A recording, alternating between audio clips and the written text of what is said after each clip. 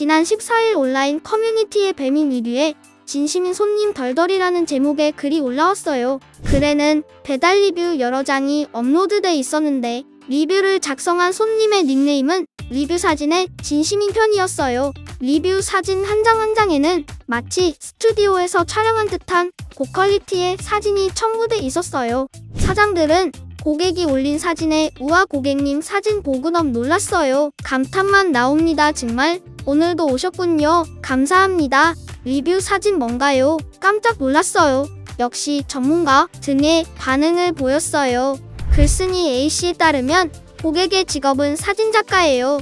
고객은 리뷰에서 사진은 막 쓰셔도 됩니다는 말과 함께 리뷰 5점을 남겼어요.